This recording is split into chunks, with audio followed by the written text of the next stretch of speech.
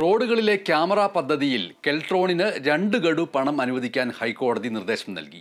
അങ്ങനെ പണം അനുവദിക്കാൻ നിർദ്ദേശം നൽകിയെങ്കിലും പണം ചെലവാക്കാൻ പാടില്ല. പണം കോടതിയിൽ കെട്ടിവെക്കണം. പണം നൽകിയാലും വിനിയോഗിക്കരുത് എന്ന് കോടതി നിർദ്ദേശിച്ചു.